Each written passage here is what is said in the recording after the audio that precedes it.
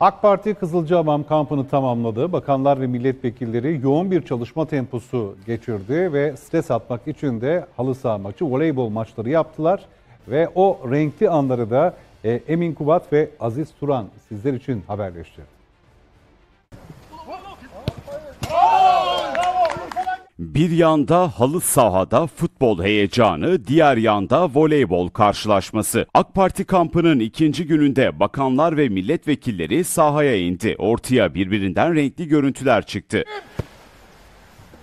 Meclis Genel Kurulu'ndaki tartışmalara, kabinedeki kritik başlıklara ara verildi. Siyasi gündem bir saatliğine yerini spora, şakalara, tatlı atışmalara bıraktı. Kameralar çekiyorlar. Penaltı değil değil mi? AK Parti kamp programında geleneksel hale gelen halı saha futbol maçı için ikinci günü seçti. Mesai bitti. Bakanlar ve milletvekilleri sahaya birbiri ardına geldi.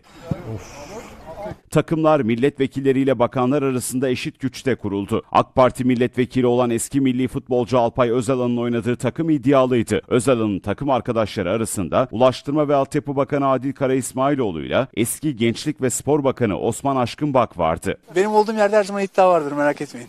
Kazanan dostluk olsun. Evet. Diğer takımın kaptanı ise Sanayi ve Teknoloji Bakanı Mustafa Varank'tı. Bakan Varank en güçlü rakibi olarak eski Gençlik ve Spor Bakanı Bak'ı işaret etti. Osman aşkım bak müsaade ederse atarız. Çok iddialı Eski kendisi. spor bakanımız olduğu için Tamam. kuralları oyuna göre değiştirebiliyor.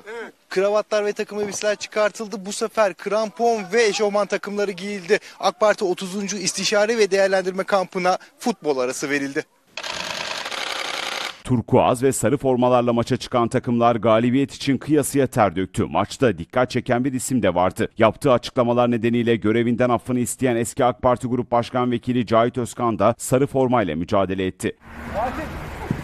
Maç oynanırken saha kenarında tanıdık bir sima daha belirdi. Dışişleri Bakanı Mevlüt Çavuşoğlu maçı izlemeye geldi. Bir süre izledi, dayanamadı, antrenörlüğe soyundu. Ya geçen biz oynarken rövaşita yapıyordun. Hiç pas vermiyordun. Şimdi ne güzel pas taşıyorsun. Mer.